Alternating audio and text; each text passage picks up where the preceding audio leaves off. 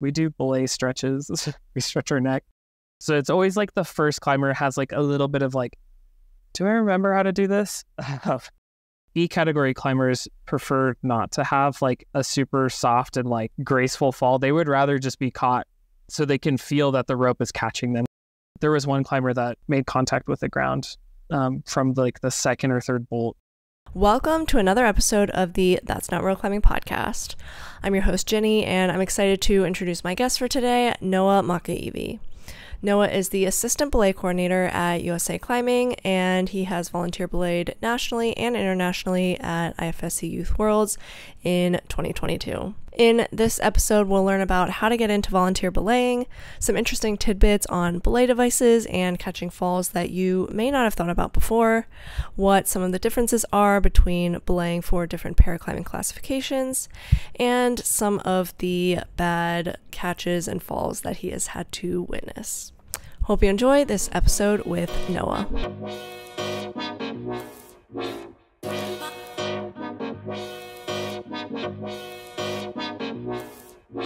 A lot of the audience is international, um, and I think even in general, people don't really know too much about the belaying world. So I think this will be a good opportunity to get into that stuff. Um, but before we get into the details of that, how did you get into climbing and volunteering and belaying? Yeah. So starting with climbing, um, I've only been climbing for coming up to five years in December. So I haven't been climbing for too long. Um, I started before that just like in the outdoor outdoors. Um, I did canyoneering, which kind of ties into belaying in a, a little bit, but canyoneering, just like slot canyons and rappelling and like going down very narrow sandstone was where I started of like, oh, this is really cool. Just like high stress adventure outdoors, then leading towards, um, yeah, just like got a gym membership off a whim of like being a Coloradan, you kind of are obligated to participate in outdoor recreation and climbing is one of those things that you sometimes some people will participate in. So i had a lot of friends that um, were into climbing and then i just thought i think i would enjoy this. I like canyoneering. I like i have rope technique already baseline so moved from that to then climbing and then just fell in love with the ways that the community interacted with itself and then with the outdoors is what made me stick.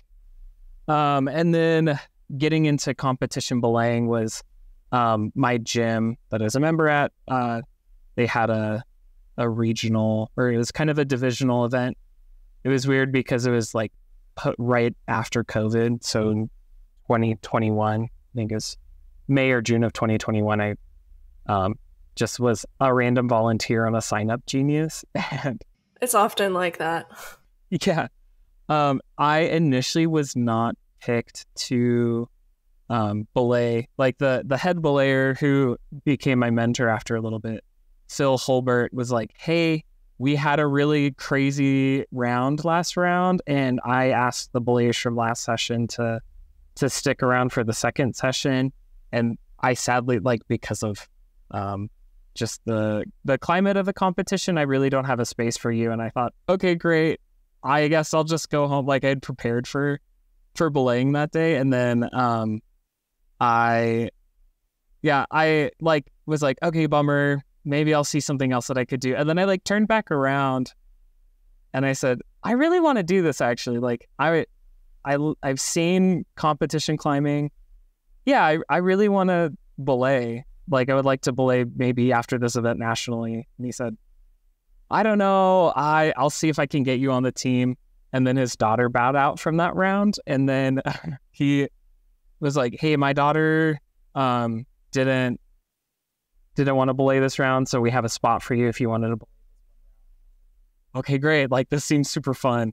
And then I had like had a really good round my first round using a GriGri, which we'll get into belay devices later, I'm pretty sure. But um, yeah, I was using a GriGri and like giving soft catches. I remember there was one athlete like as we as I was performing a catch, like we collided a little bit. Um, but overall, he's like, yeah, you have really good like rope control. You don't short rope. Um, you provide soft catches. Like this seems good enough for me. Um, I'll give you a word for the national crew. So that's where it started. Was that one event? That was fast. Just signing up. Yeah.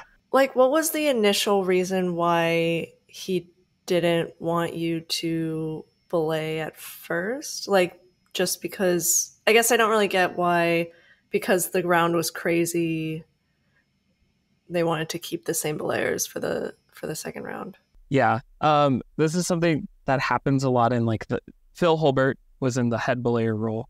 When you're in the head belayer role, you kind of have to if you are coming into another round knowing it's crazy and you have like other random people from the sign up genius that have signed up for this round, like it's a lot harder to get them on the same page than just having the people from the previous session belay for the next round of like, hey, there's a lot of safety hazards. I would rather the people that are familiar with the safety hazards stay on the route for the next round rather than having to reorient the whole entire new belay crew for the next session. So um, I definitely understand his reasoning behind it, but what were some of like the safety hazards? I think it just was like really tough catches on slab and like weird placement of draws and where the catch was happening. I didn't really see it. I wasn't really a part of the scene at that point. I just had belayed that one round and then uh yeah. So I wasn't aware what like safety or just like parts of the the previous round that made it really challenging for this next round for me to possibly not get picked. But overall, everything worked out, and yeah, it's Alina's it's Alina's fault that I'm here. okay. I think that's nice. pretty funny. Well, it's kind of interesting. I guess I find it like pretty ballsy that you signed up to belay and then like explicitly said that you wanted to belay when you got turned away because um, I think I've like volunteered in the past through like Sign Up Genius, and you can sign up to belay and stuff. But I was like, I feel like this is something that should require some sort of, I don't know, course or clinic just to like keep things consistent. So I just signed up for judging instead or something like that, which seems a little bit less dangerous and risky. So it's interesting that you, I don't know, really wanted to do it so badly. I had been told I was a good belayer, so I was like, yeah, I think it'd be cool to try it in a competition setting. Like, I don't know, I don't know what to to to think about it. Um, yeah, and, and possibly that's just me speaking into the just my privilege, but also I think I I did kind of know that I deserved to be there in terms of like, yeah, I'm a good belayer. I really want to try. I want to put in the work, um, which then also helped me get onto the team. Uh, so you started out, I guess, with no experience, and then you kind of made your way in there. Um, now that comp climbing is a little bit more um, popular, I guess, do you are there ever going to be like courses or like qualifications that you need to become like a volunteer belayer? Yeah. So, um, a lot of what has developed over time, like when I started, it was just me signing up on a sign up genius. Uh, for those that aren't familiar, it's just like a Google form that you can just add your name of, hey, I want to judge for this round, or I want to help in ISO during this time slot. Um, that's where the belayers would come from is just like uh, either a parent that wanted to volunteer to help out with the event or just for me was i just wanted to belay um, yeah so that's what it started and then um, it's taken time to develop the belay program to then be something where um, if you are working like regionals or divisionals event, it's very helpful to have endorsement. So we don't have a certification system, um, something to clear pretty readily. Uh, we don't certify people. What we do is we have vetted people vet people. So people that have a lot of experience um, throughout all disciplines. Like Um, just going into how the the series in USA Climbing is broken down is a lot of it starts in the youth series, um, which is it's like an IFSC for its own country, where it's a big federation with small divisions and regions, or divisions then broken down to regions. So there's, um, I believe there's 18 regions in all of the United States, which is huge. Um, so with the youth series, it's being broken down into 18 regions that then go into divisionals, and then divisionals go into nationals for youth. Um, the the way that we've broken down endorsement for belaying is people that have belayed at divisional events um, have more say or have more endorsement than people that have um, no experience. Like for me, if I had just randomly signed up for national events, I would probably be turned away. But because I had experience at a divisional event, I was able to be on a national team within that same year of, of 2021.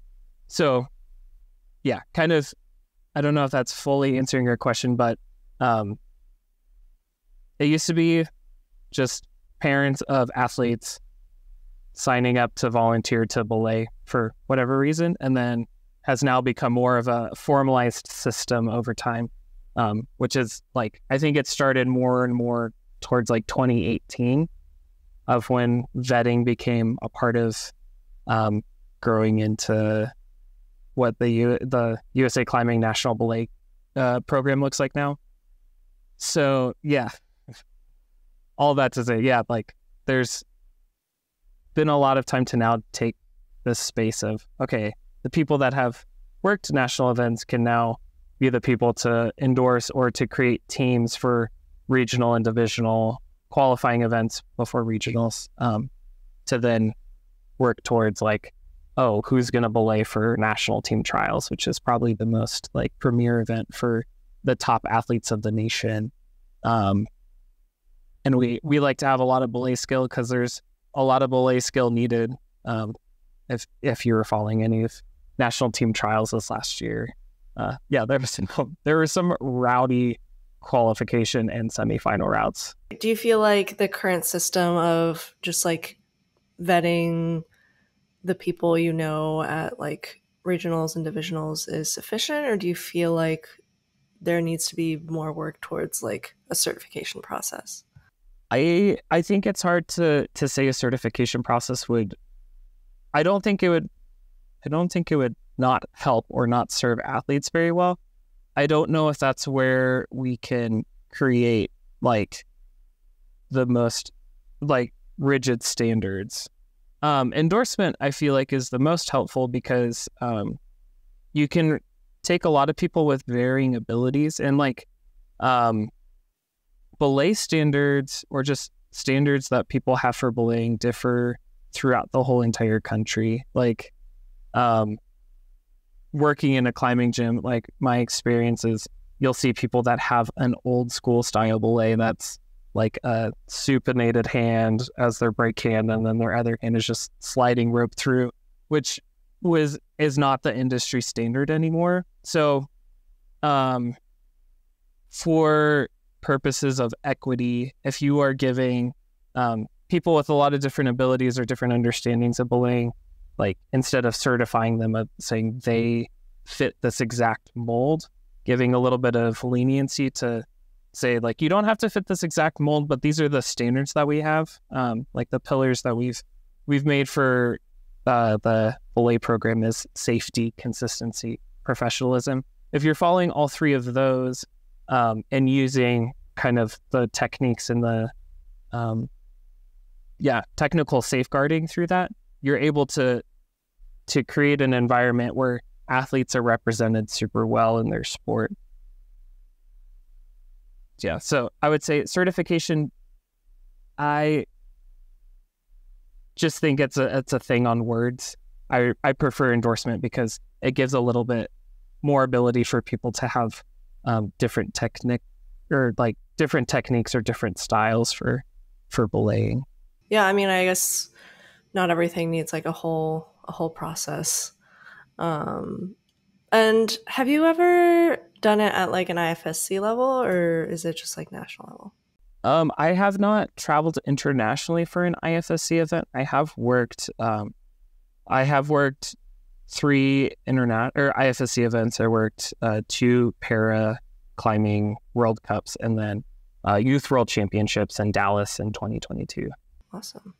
Um, so, what are some of like the differences between doing it at a local or national level versus IFSC level? Are there like more restrictions with IFSC, or is it pretty much the same? We have standards that we try to at least represent in the regional scene to then work towards um, national and international levels. Um, technically, with international events, is um, you're supposed to use a tube style device or um, an ATC. So a non-assisted braking device is the standard for for international events, and um, it's a huge conversational topic just because that's something that we have we used to fight a lot is um, for us in a competition uh, climate to use a assisted braking device actually adds more issues and more concern for safety because especially with the the um, the styles of climbing that are happening on the international and national scene is very very hard um, at any point that we're catching a fall using an assisted braking device, there's a lot more. We have less control. It's like driving a manual car. Like automatic, you for like an automatic car, you're able to like press gas and press brake. So that's only so much control in terms of um, where you're positioning someone on the wall. So going back to the analogy is using a manual braking device or an ATC, you're able to say like, oh, there's a there is a head wall that we're trying to lower the climbers down into rather than them spiking into the wall. If you had an uh, assisted braking device, you have no control over that other than just adding more slack into the system, which is a 50 50 chance that it will actually engage um, correctly in that time. So that's more the nuance of, yeah, you'll see us working at an IFSC event like very rarely will there be an exception made, especially for like when we've worked um, paraclimbing World Cups. We have a lot less margin to make catches safe um, for some of the athletes. And if we're using an assisted braking device, we have no control over that. I didn't know there was that much of a difference between using like an assisted one and like a regular ATC in terms of like the catches that you can do or I mean, I thought it was both like for, like for both of them, it was just you let out some more slack or less slack. Um, so how does it make a difference, like on the head wall example? Sure. So I think going back to like just the the functions of both, um, how belaying works is you as a person on the ground are modulating friction to um, to stop the rope and how you stop the rope is where um, you're able to control that. So using an assisted braking device, it locks the rope at the time that the catch happens. Using uh, an ATC or a manual braking device, um, you're able to let friction go into the into the system instead of it just locking. So um, I always use this. It's hard to to like communicate it, but as an as a visual example, say that there's like an overhang here and there is a quick draw that's fixed kind of to the top of my hand. If a climber were climbing above this and there is this amount of rope here, if that climber were to fall, so say a climber were on an overhang and they were above or run out from the clip and they were to fall in a situation where it's a locked rope, it's just a straight circle. If you are using a, an ATC, you're able to allow some friction or some rope into that system instead of it locking and in, instead of making a perfect circular shape, you're making more of a parabola, um, which ends up contributing a lot less force to the climber and um, negates a lot of the horizontal force back into the wall.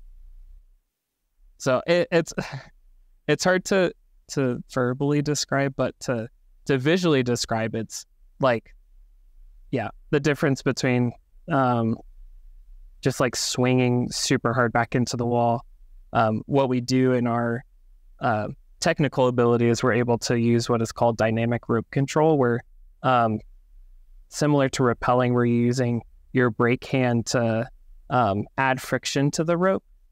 Um, you're able to lessen some of the friction, but also lower, like slow the climber down.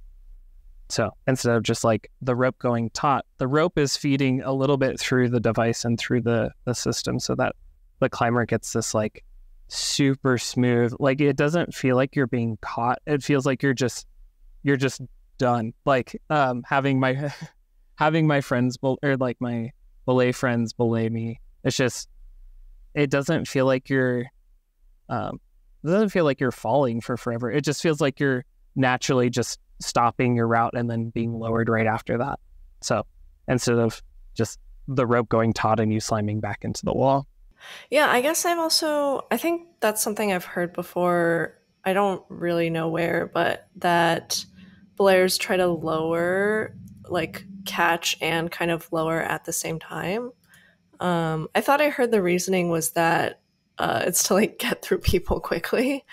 Um, is that the case, or is it? I mean, I'm sure half of it is also just like a soft catch, but is it also like you have to follow this timeliness factor? Sometimes, yeah. There are some event formats you'll see a lot on like the uh, qualifying event regional and divisional scene in here in the U.S. for youth or for quali- uh, collegiate qualifying national events. You'll see like what they call a no earlier than time. So it's like they have this time that they're supposed to be here. If a route is running super long, say that like it's a slab route that's super technical that requires the climber to be there for their almost their entire climb time of six minutes, but that no earlier than time is like a four minute margin. You'll have a lot of um, like if you're if they're climbing to six minutes and then you catch them and then you slowly lower them and then you have to pull the rope through, you're adding like an additional minute or two. Um, some sometimes in those instances, um, time is of the essence. So like getting people down fast is helpful. Another thing is for competition climbing, they're not trying the route again. You're just going straight into lowering. So what we'll do is we'll we'll we'll perform a catch. In that catch, we'll do some lowering um, using dynamic rope control. We'll make sure that they have a safe stop, and then we'll lower them to the ground, um, which is optically it optically looks a lot safer than if they're just going straight from them falling to like their feet on the ground which used which used to sometimes be sometimes that happens still. Yeah, sometimes there's not much you can do in terms of the margin that you have to work with. Like if a climber is calling for rope, like chicken clipping, you have to give it to them. You can't like in a competition format, you can't say like, no, I'm not going to give you this rope. I'm going to short rope you. It's like, no, they're asking for it. They could possibly make that clip, but if they don't make that clip, there's possibility that they're going to start heading down at a really quick rate. And um, yeah, sometimes they'll they'll get their feet on the ground pretty quickly, but often it's it's nothing too forceful.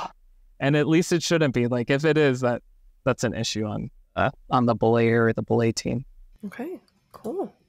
Um, and I think a lot of people probably wonder if you ever get paid to belay or in general how you manage to make it out to all of these comps around the US because um, I mean flights and accommodation aren't cheap so um oftentimes I do not get paid to be there um as you work roles like head belayer is the administrative and um, team lead role that happens in a lot of events so the structure of it is head belayer, assistant belay, uh, assistant head belayer, and below that is line belayers. Um, through national USA climbing events, um, working as head belayer, you get um, accommodations for travel, but uh, at the moment we don't get paid. It's something that we do, um, especially for us on the national belay scene. Like a lot of the team is made up of people that just love the there is kind of a thrill that comes with belaying, but just like the the love and the the craftsmanship of belaying that they they hone it to this ability that they're able to like yeah i want to i want to come out to this event so um, I've had the privilege to be able to go to a lot of events because um, either I've I've done an administrative role as head belayer, um, as well as a working role as head belayer, or um, as line belayers or people that are um, just belaying the event will get um, potential stipends for for belaying the event in terms of travel. So um, it is made cheaper through that, but it is not free most of the time. Well, it's good that a lot of people like you have the passion for playing at least. and I mean, you do sometimes get like a couple day passes for for volunteering, so there is that. Yeah. yeah, it'll be day passes at gyms that I will probably never go to again. Yeah. Like I wonder in the like all of the systems in the nation that I've been to, like how many day passes I've accrued. yeah, well, I mean, you can maybe go back one day. Maybe. But yeah, going into I guess like the logistics again of belaying. Um I guess maybe can you like walk me through the process you go through from when you get to the comp to when you're ready to belay like the first climber? Yeah. Um I will do this from the perspective of a head belayer. I recently did a divisional event this last weekend, so that's kind of fresh on my mind. Um yeah, as head belayer, it's there's actually a lot of preparation that happens um, for national events and for divisional and regional events. You'll have um, more than a month of time to prepare for national calls. Like it's important to have the head belayer attend those meetings because they go over all of the logistics. They're um, they're very familiar of how the rounds will go, and it's helpful to then decide the team that you need. So, um, like yeah, there's a lot of different needs for different events. Oftentimes, you'll see a um, like a flash format for for lead for the qualification days, and there's often two routes for that. Um, sometimes there's three, and sometimes it's red point modified. Which, not to go too in depth of like what those mean, but for flash format, it's climbers have the ability to watch a route preview and then um, climb the route and then go to their next route after uh, ample rest time. Um, so finding out the format of each round is there qualifications, semifinals, and then finals round. Um, and then checking with gyms. Um, so a lot of the time when we're working with national events, uh, USA Climbing will will take the liability of um, of the safety just using the the skill that they have or like the skill that's deployed through the belay team. Um, a lot of gyms in the nation are assisted braking device mandated. So, say like the front in Salt Lake City or um, Mesa Rim in Texas or California, um, you'll see a lot of gyms or commercial gyms go towards this uh, ABD mandate. Um, for us in our profession and our skill, we'll we'll actually be able to use an ATC or a, a tube style device instead. Um, so communicating that first off because that's where we have like professional catches. That's where we have like the most safe catches.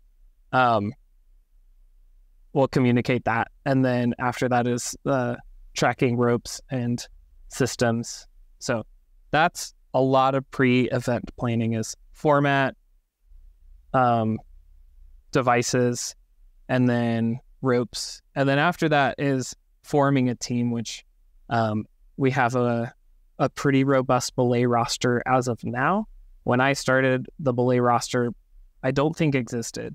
There's maybe some names on a sheet, but now it's like now it's like more than 150 names of people that have been vetted um, to to be able to be deployed for events either in their local scene or for national events. Um, so there's five levels similar to route setting or to judging that people are able to to either be vetted by a by a L4 or higher um, to then be a part of that. So creating the belay team is really helpful or is the next step of the process, which takes a lot of, um, yeah, a lot of coordination of, okay, who is going to be in this area or who lives in this area that we can readily call on? Who has given them endorsement? What can we know about their belay technique? Um, and then after that is if there's no one else local that we wanted to deploy, who are we going to deploy from other regions or other uh, parts of the nation to to be a part of this event?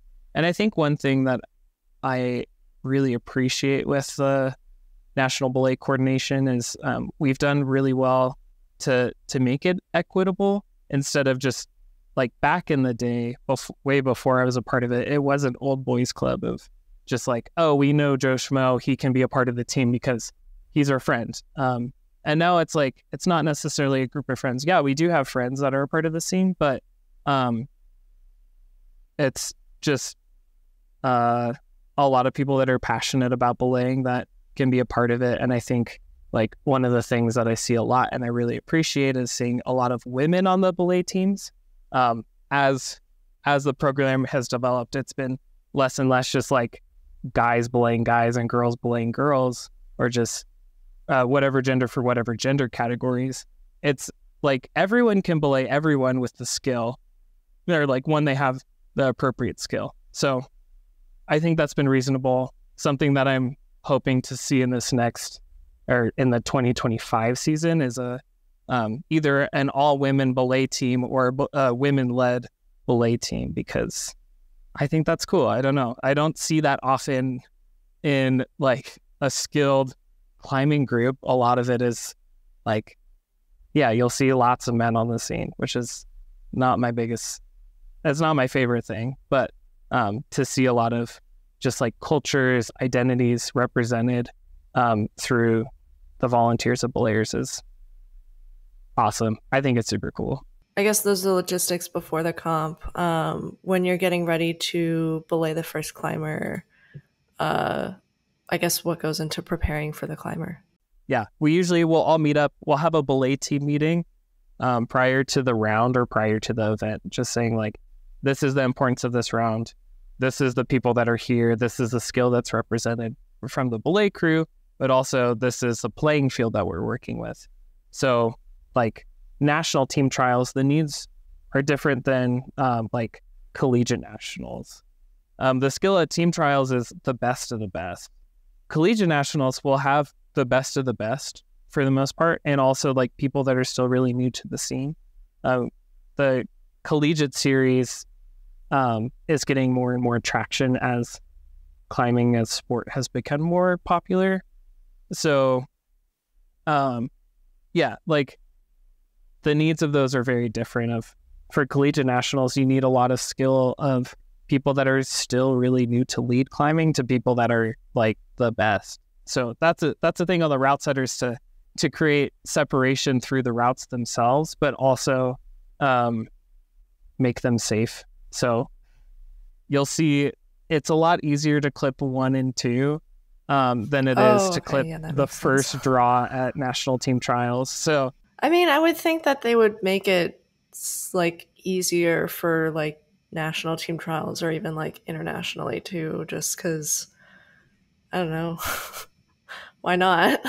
Yeah, I mean, well, the the belay skill of the U.S. has grown so much to the point where like route setters can rely on us to provide to provide safety even through like a sketchy sequence off the deck, um, which we did see at the semifinals at national team trials where like there's a um, there's an Instagram post on our our Instagram USA Belay of like me and Toby Monroe. Um, we were working the semifinals route. there were um, there were a lot of climbers above first draw that fell, and it was it was like a it was a very physically challenging and demanding sequence. Just like right off the deck. But that's because they knew, like the route setters knew that we could perform to that ability. So I understand, like, yeah, clip one and two could be easy, but um, the the route setters of USA Climbing know um, what what we can provide for them, and also the athletes are in this place. They know that they can rely on us to keep them safe. So that like athlete belayer connection through the last few years, we're able to represent like, hey, we'll keep you safe. You've never seen me before. You can trust me. Yeah, I'll try to find that video and link it so that uh, I can watch it and so everyone else can watch it. But okay, that's good to know. Yeah, so we we had a belay team meeting. We go over Right, yes. like the the field of athletes that are going to be there, the field of play, the round. Um, so kind of recapping like all of the introduction stuff that we did over like a planning call, and then um, yeah, when the round starts, it's just like okay, great. Uh, we'll have these people assigned to this route, these people assigned to this route. We usually have two per route, depending on how many people are able to make it. Um, and then yeah, we just keep going. Uh, so it'll start with like at tie-in um, for like a non-isolation format. It's just people will just review that their knot looks good. We look at a figure eight follow through with a stopper knot. We look at their harness to make sure it's double backed and then it's on appropriately. We'll look at their leg loops. So we'll do a quick what we call the belayer's blessing. We'll say your knot looks good, your harness looks good just as like a quick, especially for people that don't speak English as their first language, to be able to represent like, okay, this is your knot, this is what I'm looking at, this is your harness, this is what I'm looking at. You look good. So we'll we'll visually demonstrate like with the arm going down, not arm going to the side, your harness looks good. So our belayer's blessing, we'll look at that and then we'll show our side. um, so it's it's just a buddy check that we facilitate of your stuff looks good. This is my belay device inside making sure that it's locked, always showing that there's an audible click. Um, because yeah, you you want to represent that as you're going off to then belay them on the route. That yeah, I'm here. I'm making sure that the safety is correct. Yeah. So, yeah, they'll they'll start climbing. We'll catch them. Once we've caught them, we'll lower them pretty quickly, and then we'll detach from the system. Tell them go see your judges, and then we'll rinse and repeat up to a hundred times. Yeah. Um, and I was wondering, and I think this was also, uh, it also came from like a Discord question. Um, do the athletes have any options when it comes to who belays them, or is it just like randomly assigned? Yeah. So no, the question or the answer to that is no. Um, the athletes have no choice in who belays them, and the reason for that is for fairness. Um, like, um, and for us on the the administrative side is we want to make sure that there's fairness for the for the athletes themselves. We have a lot of skills and techniques that we've developed that every single person is having a consistent experience. I guess like how does it provide an advantage other than I guess just like being like just knowing each other and maybe feeling comfortable in that way? Are there like other advantages that you could get from using the same belayer? Yeah, I would say like it's someone you know how they're going to operate, so you have a lot less unknown. Yeah, we won't we won't let climbers have choice in their belayers. We will appropriately deploy belayers to be on um on specified routes. And the reason for that is um we don't want to show in like we don't want to show preference to other climbers if we say like, oh, we're gonna have this amazing belayer, just belay this one athlete, that athlete is probably gonna perform better. Um, just due to like them knowing this person. But um the reason why we've worked really hard on the belay scene in terms of endorsement is um, at any point, if you are an athlete, you should feel confidence to climb as hard as physically possible and like forget that there's a belayer on the other side because they have so much skill. So that's one of the that's one of the um, like real big driving factors to uh, this coordination or this USA climbing uh, belay program that we've created is that at any point that a, a climber is on the wall, they should they should have the um, they should have the right to perform as hard as possible instead of feeling scared that their belayer on the other end is like not performing very well to the point where they're like possibly short roped or just like I'm scared. I don't know who this person is. I don't know if they're going to catch me. We want to take that take that fear away from them through just showing that we have the optics of we're providing safe catches at any point. We are doing safety checks at every moment, like non-negotiable, and then um, also just presenting ourselves professionally. Like you'll see us on the the national scene wearing dark pants and a black shirt because it represents a like, hey, we we dressed up for this occasion. Like we work hard for to be here, and we're working hard uh, for you to have a good competition. Well, so how often do belayers make? I guess I wouldn't say like silly mistakes, but um, or not like beginner mistakes, but just like mistakes like short roping or something like that when a competition is happening. On the national scene, no. On the divisional and regional scene, you'll possibly see it, but like for the the standard that we set for USA climbing is like you will have the best of the best belaying you.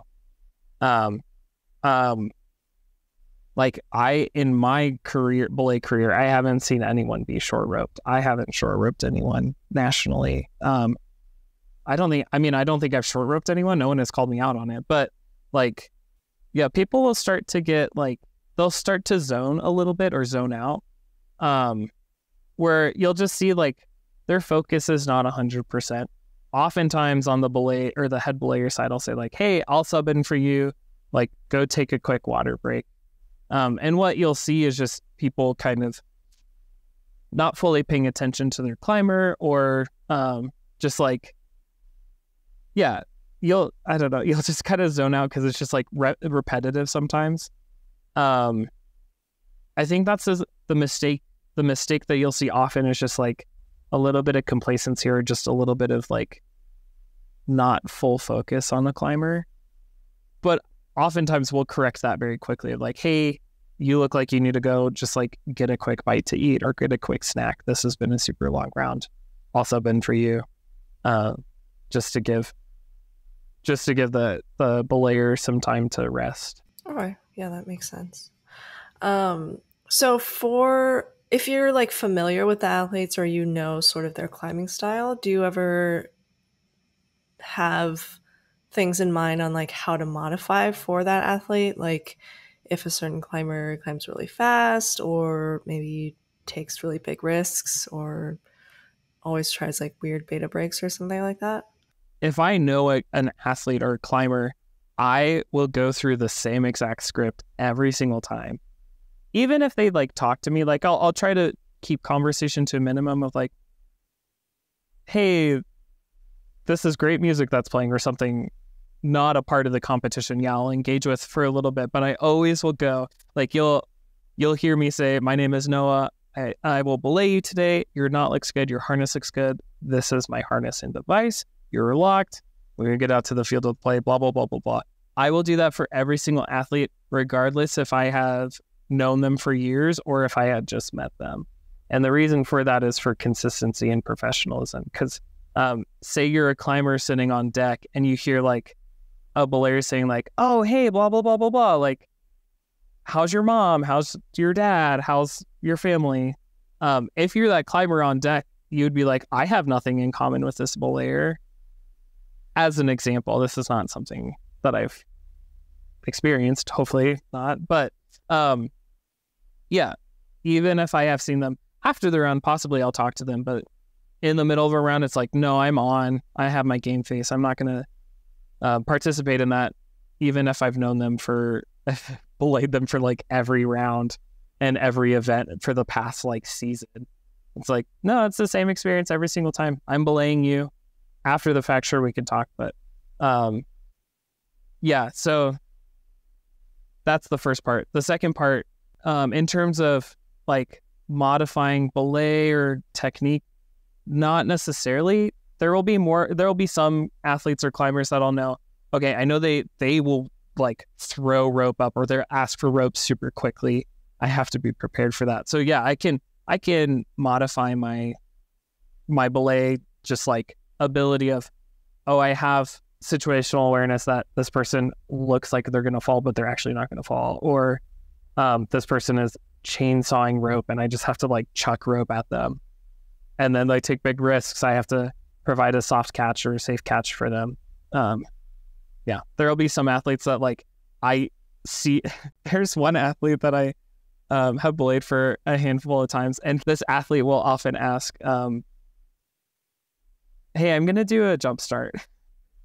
So, like almost every time, um, yeah, I won't name names because I don't think it's my place to say it. But this athlete will always say, "Hey, I'm gonna jumpstart this," and I'll say, "Okay, I'll belay you," which I think is so funny. But yeah, it's there are some things to prepare for, but oftentimes it's the skill that we have is we just we're prepared for anything.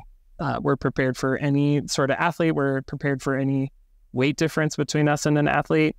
Um, if, if they're lighter or heavier, like that's where that's where like the the advanced belay skill goes is how do you provide the same exact catch for every athlete, but also, yeah, remain professional. Yeah, well, it's good to hear that you kind of keep things consistent in that way. I do feel like if I were an athlete who like saw someone who had like great rapport with the belayer ahead of me, I would feel it would kind of like get in my head that I don't know. It would just be weird and like put me in a weird space, I feel like. So that makes a lot of sense. It's like almost I don't know, like a weird social game that's added to it. Yeah. I mean, that's a big part of of us on the national belay side is head game is what we want to preserve for athletes. Like we don't want to get into any athlete's head of like, I'm not good enough for this route or blah blah blah. It's like, no, we're here to support you as a belayer. We're here to like if they've seen us in previous rounds, they've seen that we've caught really safely. We have um, this belay skill. Um, so we typically use optics as a metric uh, for for like any evaluation. If you look safe and you are safe, like you're representing the belay program super well. Where an athlete like they can see you or a parent can see you and see, oh, they're making sure my athlete doesn't fall to the ground. Like, yes, that is the baseline. Um, but after that, it's okay, they're providing soft catches or safe catches um, for every athlete. And then when it gets to that tie in point, it's like, hopefully there's enough situation or just like um, integrity in that situation that this climber can now know, okay, they've seen me belay without me having to say anything. They've seen me belay. Hopefully they have um, enough like they have enough ability to then perform as as hard as possible on a like a 514 climb that they're about to get on. Please excuse this brief intermission, but I've gotten a few requests for this, so I just wanted to announce that if you're interested in helping support the show, my Patreon page is now live. Some perks include ad free, interruption free episodes, deleted scenes, prioritized guest questions, or the ability to submit video questions, an enamel pin shipped to you after two months of membership, and much more to come. The proceeds go back into the podcast to help me break even, and they help improve the experience of the guests. If you'd like to support the podcast non monetarily, liking, commenting, and sharing helps a great deal as well. Back to the show. Quick logistical question that uh, came to mind. Um, you guys don't wear those like belay glasses? um, is that like an aesthetic thing, or like wouldn't it help with I don't know your neck or something like that? That's a great question. Um, so we prefer not to use belay glasses. A lot of that has to do with um, like when we're working on a field where there's more than one climb, which is every field that's not or every round that's not finals. Um, vi- like seeing the field of play or having a, as big of field of vision as possible is so helpful. Um, like when I'm looking at a climber and I'm using belay glasses, I only see like like a three quarters of their body, um, rather than if I'm not using belay glasses, I see their whole body and then, or for the most part, like I'll see them climbing, and then I can also see if there's a route that's like three draws next to me, I can see where that climber is, where they're moving, if they're like being caught and their body is coming towards me, like I can move out of the way. When you have belay glasses, you are restricting not only the vision that you have on the climber, but you also restrict the vision right in front of you and kind of to the sides. So, I mean, what we'll mitigate with that is just we do belay stretches. we stretch Oh, really? Um, Oh, Yeah. actually. yeah, not like super formalized, but like before and after every round, like make sure that you're working your neck that because oftentimes you're just staring straight up. Yeah. Uh, yeah, there's there's little things like sometimes I'll I'll turn my body so I look to them sideways, so I'm not like using just direct neck on that. So there are Oh. ways to to to minimize the pain that you'll have. Uh, I had some I had some pretty serious pain for the collegiate uh, nationals qualifying round. Was like I it was a long, long, long round of I it was close. It was maybe more than hundred catches per person. I'm not. I can't remember the exactly, but like it was staring up and it was vert instead of overhang, which like gives you a little bit of like respite on your neck. But yeah, it was just vert for hours. It was like I think nine to four or five or something. I don't remember exactly, but it was a lot of looking up. but yeah, stretches are so good. Stretches feel great. Yeah, I might need to get some stretches from you because I like had a neck injury and then it kind of like came back again and just like looking up is kind of hard. so Yeah. I noticed that when I was doing like a little bit of belaying and then I was like, oh, I don't know how people do this for any longer than a session. I will say belay glasses are not like I don't hate them. I do think they're helpful, especially if someone's projecting. But in a competition, I don't use them. But yeah, hopefully your neck feels better. Thanks. Well, I'll I'll send you some stretches. yeah, yeah, thanks. You're Um, welcome. But okay, good to know. I just I had to know. Um, okay, and so what are some of the differences between belaying for, uh, I guess, like different categories of climbers, like youths versus, um, I guess, like elite climbers versus para climbers? Yeah, I'll start with use. Um, a lot of it is like there's a lot of there's a lot of categories. So it um, on the the regional scene, I think it goes all the way to to D categories. Um, so there's D, C, B, A, and junior. So there's five age categories, and then there's two gender categories. So there's ten categories that we belay for. Um, with with lead climbing, if you're using an assisted braking device, which a lot of the gyms near me are assisted braking device mandated, um, catches are really really finicky because you're using an assisted braking device. There's often a weight difference between you as the belayer and the athlete you're belaying for. So, like the weight difference between me and the average, um, like youth B climber is great. I will weigh a lot more than them.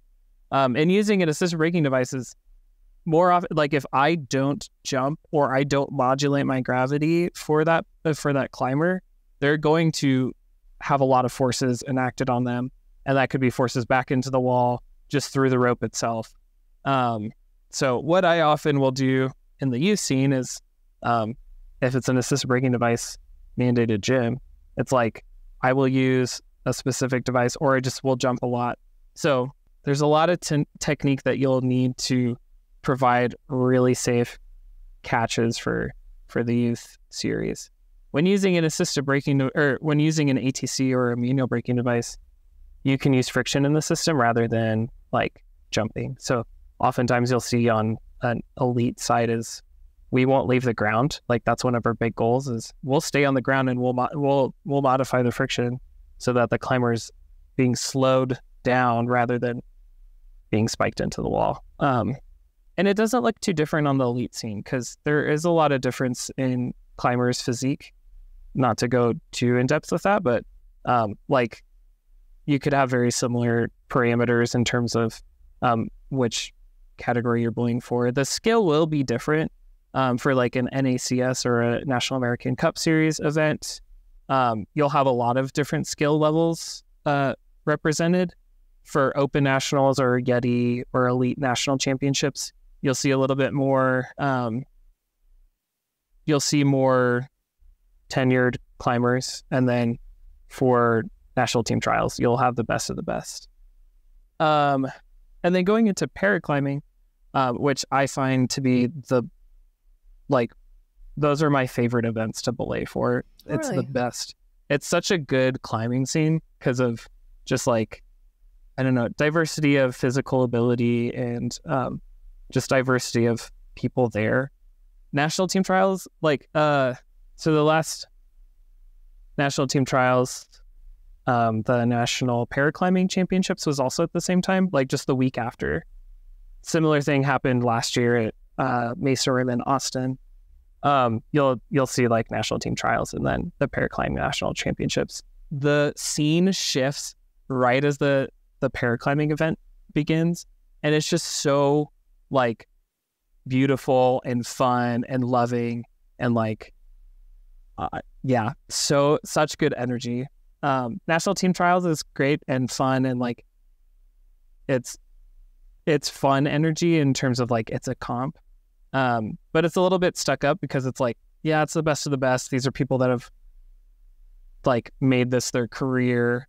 Um and not that paraclimbers haven't but uh the people that are represented in paraclimbing is like I don't know, people that are in love with the sport to the point that they're here to connect with people of similar, um, like, they're all, yeah, we're all just like represented very well by just really hardworking athletes. So I think paraclimbing is so much fun.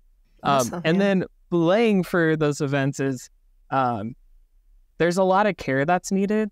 A lot of the people that will sign up for the paraclimbing belay teams, you'll see both people that have very little competition experience that just love the scene, and then you'll have people that love like have a lot of paraclimbing experience and also just love the scene. So it's. Um so there's a lot to to factor into that because there are a lot of categories for um for para. I believe there's off the top of my head, there's like I think 11, 10 or 11 categories and then gender categories added to that. Um, so there's there's a lot of classifications. Yeah. Do you have to like belay differently for each type of classification, like blind versus um, RP versus uh, like amputee categories? Possibly yeah, there's there's parts of it that you'll have to like have different ways that you catch. Uh, Mm. feedback that we've received um, from previous events is uh, B category climbers prefer not to have like a super soft and like graceful fall. They would rather just be caught so they can feel that the rope is catching them rather than like um, for a lot of the catches that we perform it they are somewhat senseless of like you're just kind of coming into a cloud of softness.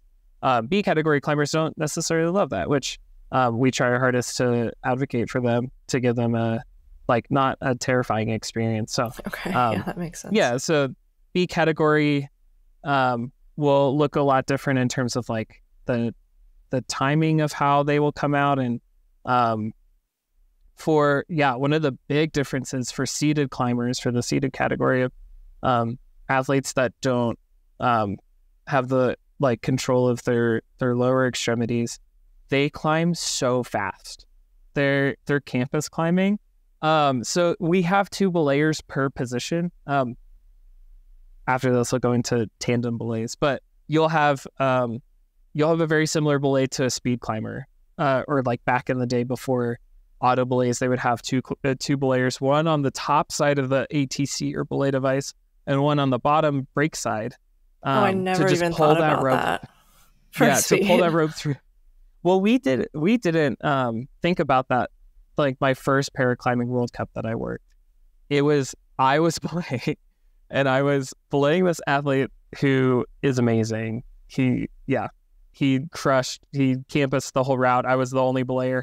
I was PBUSing because PBUSing is the standard that we use, um, as fast as physically possible, and I could not keep up with his speed. And it was after that that we're like, okay, optically this looks terrible because the the rope is like there's so much slack in the system. Um, the head belayer for the event, my friend Ty, uh, like just pulled on the the top side. I pulled on the brake side very quickly, and then I went into just a standard like taking out slack, and that's where we then corrected. That's like okay for seated climbers, we need for if it's a tandem belay, we need four belayers for this one athlete. Um, so that's what that's what we do now, which I think is very really? great. Okay. Um, so those are the two. I would say those are the two extremes that we see of like this ath- this category needs this and this category needs this. Yeah. So seated climbers they climb very fast, which is so fun to watch, but also sometimes I would say that's probably been the most stressful moment, moments for me in belaying is like just not being able to keep up with a insanely strong seated climber.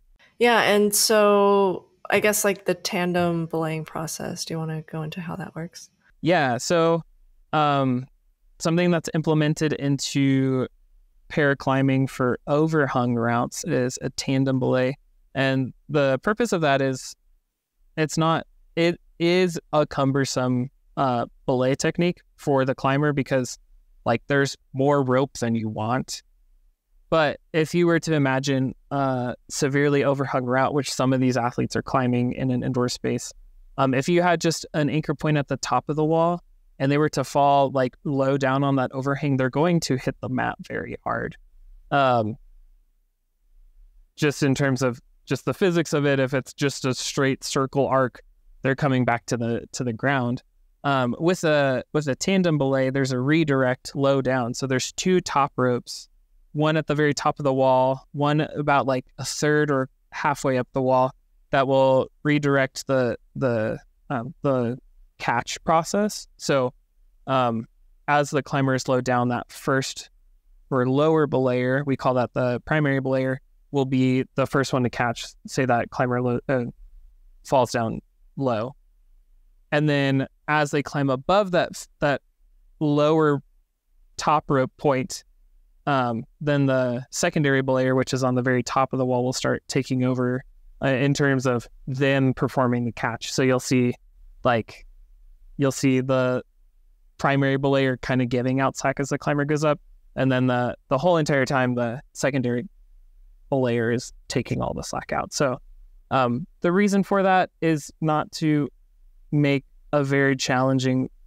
uh, system for the climbers, but to give them the ability to climb something that's very overhung without uh, the risk of safety. So tandem belays are not ideal, but they do give a lot different terrain for the athletes to climb. Yeah, that was really interesting. Um, makes sense that there's a lot of differences that pop up for paraclimbing. So that was good to know. Um, okay, I think those are all like the logistical questions I had. Uh, so I kind of want to go into some like maybe more like story based questions or like questions about how you how you are like actually feeling while you're belaying. Um, so do you ever feel like nervous or pressure when you're belaying? Um, if you're ever like worried that you'd somehow mess something up, or is it just so second nature that that's just never even occurred to you? Um, it has definitely occurred to me. Okay. I will say it doesn't happen often. I think when I first started, there is stressors from uh what you'll see like because qualification rounds almost are never broadcast um, and then semifinals and finals are broadcast um, so different rounds have different levels of stress for me sometimes of like okay um when i'm belaying for a qualifier round it's like everyone is watching in the facility no one else is watching externally but um I think I get a lot of fear in the qualification round because it's like that's what's setting the example for the for the rest of the event is like we're belaying well for this event. This is how we do it, but like starting with that first climber. So it's always like the first climber has like a little bit of like, do I remember how to do this? Mm-hmm. Which I do. I do remember how to do this. Um, oftentimes. So you'll like I don't know if this is a universal feeling, but the more times that I've done it, I have a lot less stress or fear. So I I can get nervous, I can get a little bit scared, but like overall, like I can go to any route on any round and be like, oh, I can believe this. Like I've had, I have enough like glossary of catch things or like people that I've caught in my in my memory that I'm able to say like this is what I did, this is what I did, or this is how I modulate um, just friction for for this style of climber or this style of catch. So I at this point no. My first nationals event, yes. I remember just like there were four routes and for nationals teams you usually have two routes per or two belayers per route. So you'll have like a team of eight. We had a team of four.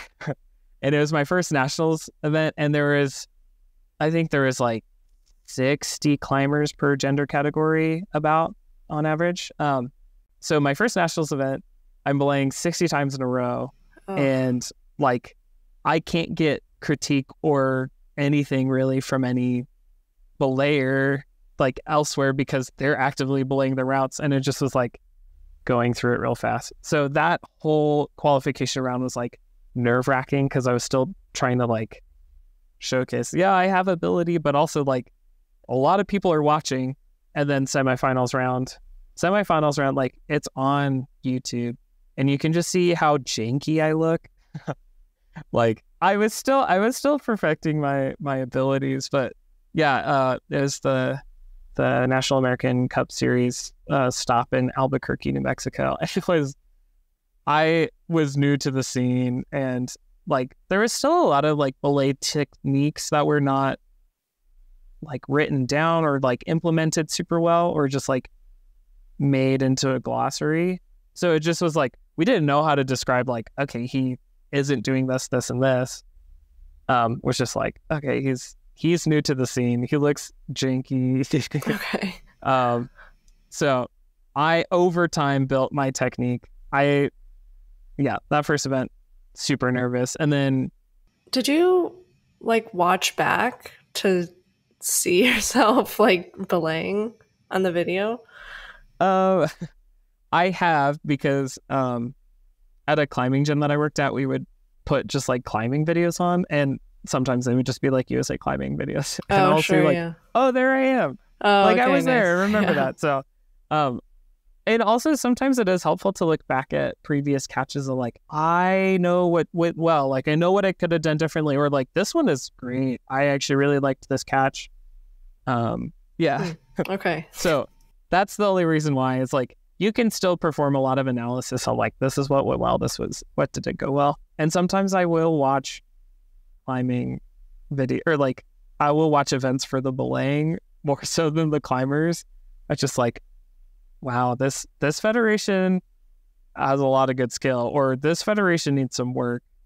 What's something as viewers we should like watch when it comes to belayers? To watch, I I think the catch, like you can make catches look really good and really safe. And if you're like just one of the cool things is like if you do a catch super well and they're run out on an overhang, usually they'll swing. But if they don't swing, like that's good on the belayer to take into account like the physics of everything. And then you'll just see them like, oh, they went into space and they're down on the ground very safely and they showed a stop. So for like the average viewer, it's I don't know. Maybe yeah, what I look for is just like safety of making sure that they're not like being slammed into the wall. But if they're giving like soft catches, I I think is great. Another thing for the YouTube comments to complain about if they notice a hard catch, I guess. Yeah. So you mentioned uh, previously when you, um, like before the competitors come out, you say the same thing to them every time. Um, are there ever any competitors who are like nervous and they want to like talk before they climb, or um, are most of them just like in the zone and trying to keep focused? Uh, it depends. Um, one of my fir- uh, the first nationals event that I did in New Mexico, uh, during the finals round, uh, my friend Steve was there too.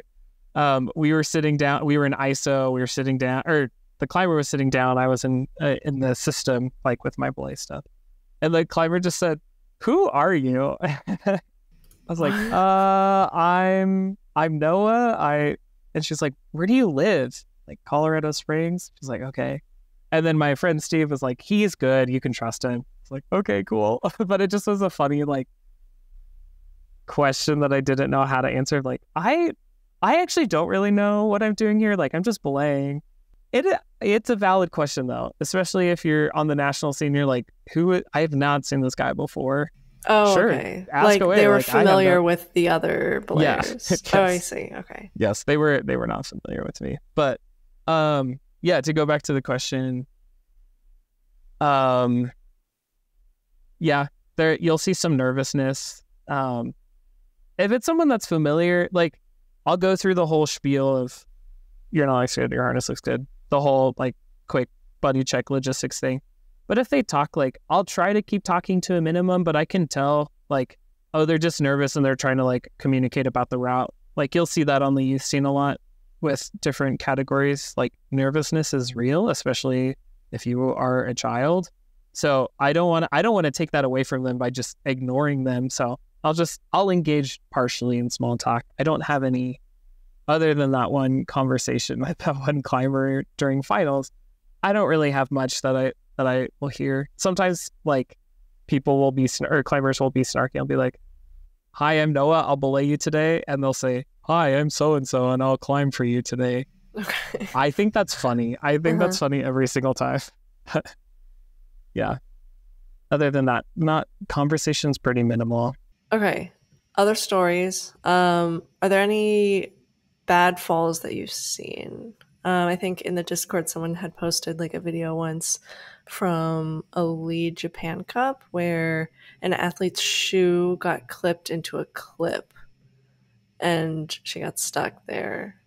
I yeah, I did see that on the Discord. Um, I've experienced something similar actually, not necessarily someone's shoe, but um, during a round of the youth uh, world championships in Dallas, there was a climber that was climbing up, and just the position of the quick draw and um, just the movement of the climber's leg snared their leg. So like they were dangling just from like the rope being wrapped around their leg. And I was belaying actively and like I had slack in the system and I was trying to just like demonstrate to like the audience that saw me like, hey, I I'm not holding this climber up. It's the leg it's their leg that's snared on the rope itself. Um, and they didn't speak English. So um, I couldn't communicate anything. We like were trying to get setters like setters, please, please help. Um, and then the coach went out into the field of play, which um, in the moment is great. Like the coach went out to the field of play, described what to do to the athlete. Like the athlete went in direct to their harness, and then I provided slack. They unsnared their leg. They went, or they unclipped the draw from their harness, and then I caught them. Um, that was a weird moment where it just was like, uh, I will stay on belay. I'm not gonna detach from the system, but I'm just standing here waiting for whatever to happen. But yeah, that would that would be one of the like more surprising moments that I've had. Is there like video of that anywhere? There is, yeah. Um, I think it's a it's a live stream or like a finals feed for or semifinals feed for Youth World Championships. But yeah, I felt bad for the climber of just like, yeah, you're at a Youth Worlds and then your leg gets snared. But it happened again that season, which was interesting to another climber um, in Edinburgh, I think. Mm, okay. I'll try to find the videos. Yeah. So those are things that have happened, or like that's an experience that I've had. Um, other than that, like, thankfully, you won't see people deck. Like, I personally haven't seen it. I've seen people what we will sometimes call soft deck. Like, there is padding on the floor for a reason, which is very helpful. But um, there's some some situations and some like physics equations where there's only that's all that can happen. Um, I know I got some hate comments on a, a reel that we posted on the belay, the USA belay of like a climber was above first draw, like decently so, and then um uh like touched the ground and you could tell that they weren't injured. Like I still assisted the catch. But the the way that the rope was or the way that I was positioned and the climber was positioned is like I was in the corner of the wall. I couldn't take out slack like super fast. Um, but the climber just like their their body was on the ground, um, or like their legs touched the ground, but they like I still partially caught their fall. So that's often what you'll see. Um, yeah, I don't, I don't know, I don't see that happen too often. Not to say that it hasn't happened. I think belay or I mean climbing is inherently dangerous. You'll always see just risk involved, but um, in my personal experience, I haven't seen much in terms of like anyone being severely injured. Thankfully, I'm very grateful for that. Um, but it, at any point, it still could happen. Um, what do you do when it's like before the second clip and it's like a little bit dangerous? Like, how do you mitigate uh, the risk there? Um, it's just a, a sense of always knowing, like, if I could catch someone at that moment.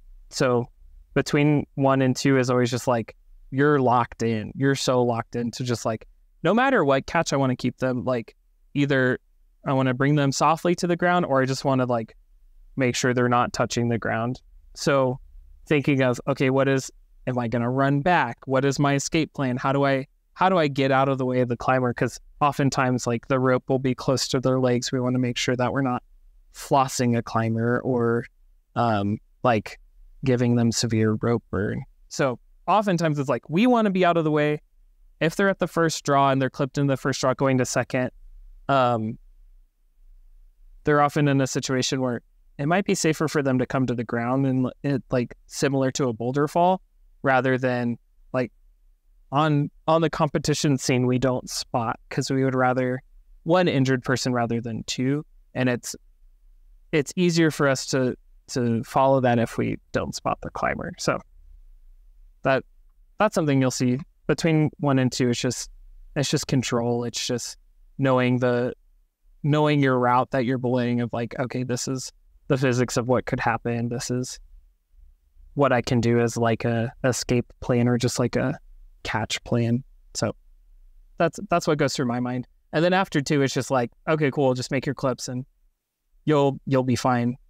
Oh, good to know. How do you, I guess, get selected for like an international event?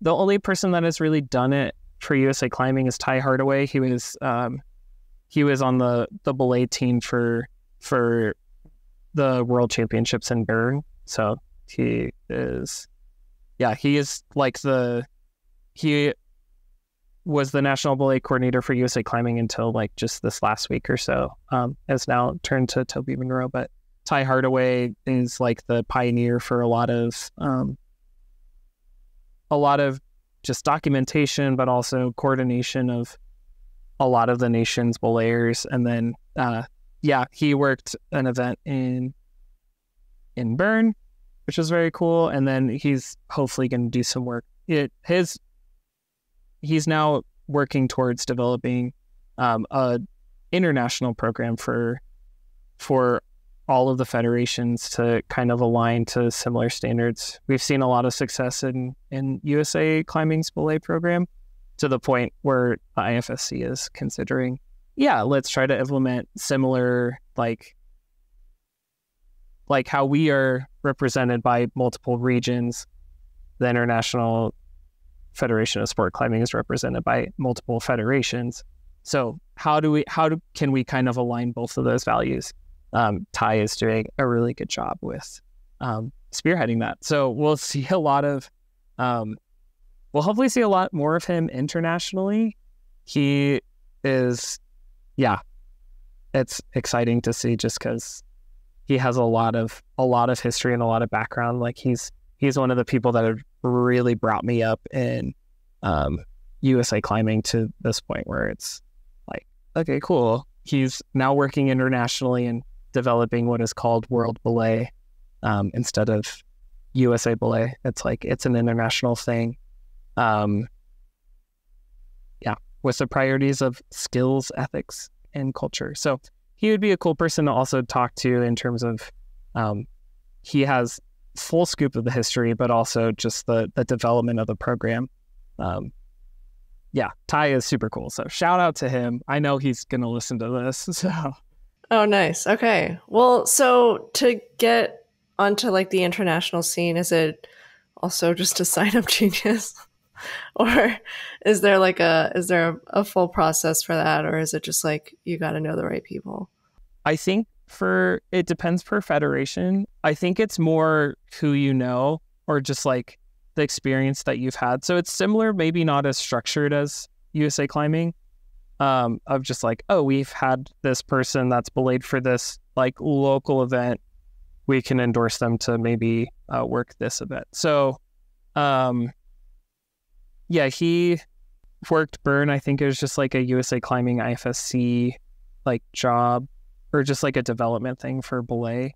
Because uh, he also he was the um, I think he was the head belayer for the Para World Championship. Um, or yeah, he conducted the uh, he co-head belayed and he conducted a belay clinic for uh, the paraclimbing world championship in Bern. So that's why he was there was to develop the paraclimbing scene, which is also really cool because now there's more uh, possibility of it being in the Olympics for LA 2028, which is so exciting and so incredible. So, um, yeah, I don't know. I don't know what other region, uh, other federations have. I think it's more just like you have tenure or you have ability from this federation that we find you able enough. Um, and there's possibility that it might be SignUpGenius. Awesome. Um, well, I think those are all the questions I had. So we'll get into some of the Discord questions. Uh, first one What are some common bad practices that you have to point out and make people stop doing when they're belaying? Most common bad practice that I see is uh, poor brake hand technique. So I um, work towards the industry standard of using PBUS, which means if you're unfamiliar, uh, pull, break, under, and slide. And the reason for that is at any point you have a fixed point as you're sliding your hand. So it adds redundancy to the system. You'll see people, and I sometimes am not the best at this, but we'll call it slip, slap, slop in our area, where it's just like a quick, like you'll bring your brake hand up and then um, you'll like hook your pinky finger around the rope and then you'll slide it back down. Um, it's a very old school alpine belay. Um, you'll see that, and then uh, another yeah so you'll see i see a lot of poor brake hand control. A lot of p- people have been using the the term tunneling which is very specific to using a gree i personally don't like it because i don't find it very redundant or safe. Um, so i personally use pbus for anything and then people will use tunneling for using an atc at any point that you are tunneling your hand up and someone were to fall, there's a lot less ability for you to use friction on that hand to then stop the climber, and you'll probably give give yourself severe rope burn. Is tunneling just when you like let out slack and you're just I don't I don't even know how to describe it. Um, what is tunneling? so the term I've heard the term came from uh hard is easy video of like this belay technique but it's like you have you take out the rope, so you're using both your guide hand and your brake hand, and you're going into a like you're pulling slack out of the system position, and then instead of taking your your non-dominant or your guide hand and bringing it under, and then sliding your brake hand up, you just slide your brake hand up. Oh, which okay, gotcha. I don't find very safe because, like I said, at any point that someone were to fall in that instance, um, if a GriGri were to fail for whatever reason, like you there's possibility that someone could deck from that. So that's something that I see a lot. I don't love. Um, so just PBUS is industry standard. It is a little bit slower, but it is the safest technique that I use. Um, so I will usually take, I, I will usually correct people on that if if they have poor um, brake hand usage, and then um, yeah, for for catching, people won't put two hands on the lowering side, which I have recently chain transitioned into doing. Instead, I would just like be sloppy and have one hand on the brake side. But putting both hands on the brake side is safe as you catch someone. Um, is the safest way to to do it. So that's another thing. Um, and then yeah, just like position of yourself versus the climber. Some people will stand right under a climber climbing, and if they were to fall, they would fall on top of you. Sometimes, like it's things that you you won't initially think about, but then when you like think about, oh, if they were to fall right now, oh, they would be right on top of me. I'm going to move over this way. So, body position is huge. So, given these uh, practices, do you feel like you're more cautious when you're the climber and you like care a lot about who your belayer is? I think so. Um, I would love to see someone belay before you let them belay me. Um, just because I want to see like, okay, how safe does their belay look? Which also then feeds back into the athlete's perspective. Like, I think my ability is very similar, not climbing ability, but like my ability to recognize like good belay technique is similar to other climbers. So if I see someone that has sloppy XYZ, I'll say like I'm a hes- I'm hesitant to climb bolt one, two, and three, but after that I feel okay with you catching me like on a whip or something. But yeah, there there'll be some that I'll I'll say like I can tell that they'll short rope me, or I can tell that like they're hesitant, so it gives me hesitancy of performing super well. So similar to athletes, it's like the belayer's ability affects my ability to climb. So I yeah. And like I've done a lot of gym lead tests before and I know what to look for of like, okay, we'll do this quick exercise of like take out slack, give out slack. Great, that looks fine. Oh, you're belay certified. Cool. Um but yeah, if it's someone that I've never seen before, I definitely take a little bit more caution of uh I don't know who you are. But if it's one of my if it's one of my belay friends, oh I will I will climb I will whip off the first draw and feel Oh, okay. gosh. okay. I know Yeah. they I know they have me. So yes, I will say I'm cautious to the standard gym goer, but like for anyone that's on the competition belay circuit, I'm like, oh, this is fine. Like I will have a good ride either way. Does that answer the question? Yeah. Cool. Okay. Um, next one. Have you ever had to remove like a volunteer belayer after seeing that they did something wrong? Yeah, um, especially in the head belayer role, it's like if you see bad belay technique, like that's why we have the st- the pillars of consistency, safety, and pro- or safety, consistency, and professionalism. Um, at any point that I'm like, this person is talking way too much to climbers. Like, I do, the climber doesn't need to have like a full on conversation about this. Like, I'll pull, uh, I'll either correct them. Like, hopefully, we have a conversation before you were pulled. But if it's a safety issue, um, yeah, I will pull that belayer from the round. And what we'll often say is like, I'll uh, at any point you could be relieved from the round. If that happens, you are welcome to con- uh, like talk to us after the round has happened. So it's not like taking away from the um, from the field of play or just like the integrity of the field of play. So um, there, I think it was my first time I head belayed, which was a qualifying event near where I live. Um, there was a very poor belayer um, who had just learned how to lead belay and used it gree very poorly. That both short roped multiple kids, and then um, unfortunately, like the climber, er, there was one climber that hit uh, that um, made contact with the ground um, from like the second or third bolt, and it was Whoa. bad. And I was like, okay, great. Immediately, like this is no for me. Um, we'll talk after the round, and like like I said, we hopefully will have ability to give correction, but if it's something like that, it's just an immediate pull. So yes, we will. I will not let someone that has um, hurt somebody or has been close to hurting somebody stay on around because I want to keep the integrity of of the belay team that's currently there, and then also just for the field of play. So yes, that is a that is a tool we use um, to better people, and also sometimes pulling then adds to the conversation of this is how we can um, work towards better belay technique. I don't want to. I don't want people to leave uh, a belay round not knowing any better. I want them to uh, hopefully learn from their mistake, um, so that they can provide a better experience for belayers. Like I think everyone can with the work, uh, with providing work or with it putting work in, they're able to belay really well.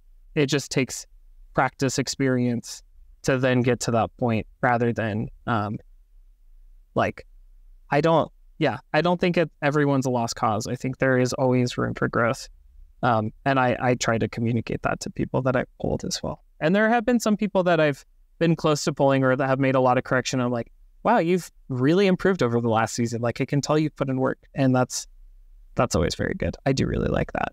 And so with the short roping, um, I guess does it ever happen to a point where people submit uh oh my god, what's it called? Um Appeals. like appeals. Yeah, appeals for for it. I have not experienced it in my career for belaying. I know that it can happen, and um, usually it's hap- it happens in the moment where a climber on the wall will say short, like short rope, or like something along the lines, or they can come down from a route and talk to a, a judge or a head judging official and say, "I've been short roped." I personally haven't seen it um, in my experience, but I know I know there was one time my friend was uh, wrongfully called for a short rope because the climber was actually stepping on the rope, which they didn't know. So they were calling, they were pulling for rope and they couldn't pull anymore, and they called for a short rope. And the the down there was just like, "I have slack in the system," not calling out to the climber, but just showing like. We'll show with like a soft J, like, hey, there is slack in the system. You could pull this if you weren't stepping. So it can happen. I haven't experienced it. And if from my friend's experience, it, it can happen, but it can be wrongfully called. So short roping at the skill that we have now, you often won't see even on the regional or divisional scene. Okay, uh, last question. Uh, thoughts on the double fisherman's or Yosemite tuck? Are they used in comp climbing? Doesn't matter. Some gyms seem to take it very seriously. Yeah, for USA climbing within the rules, um, like you have to tie a, um, a figure eight follow through through both of your hard points with a, so- a safety knot at the end. And the reason for the safety knot is just to to both denote that there's more than enough tail. Like if a if there's not enough tail, there's possibility it could untie itself. If there's a safety knot or stopper knot, that means that there is enough tail and it also won't go back through the system. It could be anywhere from an overhand knot, which is just a standard knot, a double fisherman's, which is kind of like a, a barrel knot on the on the tail or the working side, and then um, a Yosemite finish or Yosemite tuck is using that tail and then tucking it back through the figurine itself. There are ways that you can tie it incorrectly, and there are ways you can tie it correctly. Um, visually, it's a lot harder for us, like in a quick check, to see a fish or to see a Yosemite finish correctly done, rather than a um, figure eight follow through with a stopper knot. So, if I was recreationally climbing, I personally will use a Yosemite finish because I can untie it pretty well. But I often will just tie a regular figure eight with a little stopper. Uh, but for competitions, you have to have a figure eight with a stopper, and you'll see it on you'll see it on all elite athletes that they have that on their knot. Um, and if they don't, I question that. But yeah, more more times than not, yeah, you'll see every athlete figure eight follow through just because it's it's easy to see. It is harder to break, but it's it's the easiest knot to do a check on real quick. Okay, makes sense. Um, cool. I think those are all the questions I had. Uh, any like closing closing thoughts? Maybe this is a closing thought. Um, the the way that or what I was talking about in terms of like rappelling being or like canyoneering and rappelling being kind of applicable to belaying, the technique that you use for dynamic rope control almost directly as related to rappelling because you're using the friction of your hand to lower yourself down. At a certain speed, you're able to give yourself a consistent lower of yourself down, but you're kind of doing that on the floor um, when you're when you're using dynamic rope control to stay on the floor instead of being like lifted up or jumping up.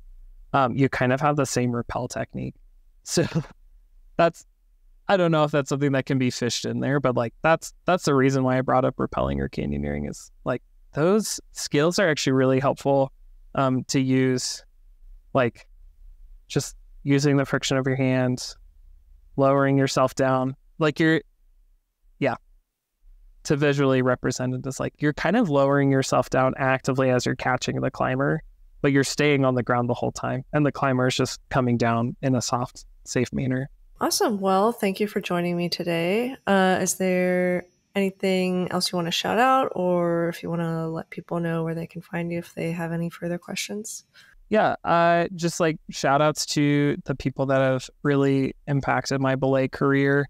Um, definitely want to give thanks to Ty Hardaway, who has now um, taken over the IFSC belay program in terms of the development. Uh, Steve Baker, who is the Uncle Steve to all of us. And then, yeah, other people part of the team, Toby Monroe, uh, C Lad. They're all people like you'll see on the belay team. We're all a family. Um, like we we care a lot about not only belaying, but we care a lot about just humanity and people. So there are people that have really impacted me on my journey, not only like just belaying, but just personally. And then, yeah, yeah, you can find. I mean, I don't post much, but my I have Instagram and I post a lot about like little belaying things on Noah underscore Kiwi, which is just a little ditty on my last name, which is Makaiwi. Kiwi just is a little bit easier to pronounce. And then, um, yeah, follow USA Belay if you want to see just ways to get involved. Feel free to like message USA Belay. We just put a little divisional post out of all the divisional championships that um, took photos of their belay teams. So I think that's really it's really sweet to just see like um, the belay teams that are uh, that are represented like throughout all nine divisions of USA climbing. It's like, oh, they're they're humans on the other side, and they're all like working towards this really cool project of um, serving athletes through safety, consistency, and professionalism to to better not only the sport like as it's gaining a lot of traction for the, the Olympics this year, 2028 Olympics, but it's like, yeah, these are not only parents of athletes, but just like people that are super into belaying, like myself. So, yeah, we're just we're just a little bit. It's just a fun crew of individuals that come together. So USA Belay is a very fun uh, way to interact. We also have a belayers page on USA Climbing in ways if people want to get more in depth or want to learn more. Um, yeah, the community, the belayer section on the community page of USA Climbing is where you find a lot of curriculum that we've developed for for the public use. So those are those are aspects I can share. Yeah, I will link all of those below. Um, but yeah, thank you again. It was amazing to talk to you. Yeah, thanks so much. I appreciate it. Thank you so much for making it to the end of the podcast. Don't forget to like and subscribe if you enjoyed. Otherwise, you are a super fake climber. If you're listening on a podcasting platform, I'd appreciate if you rate it five stars and you can continue the discussion on the free competition climbing Discord linked in the description. Thanks again for listening.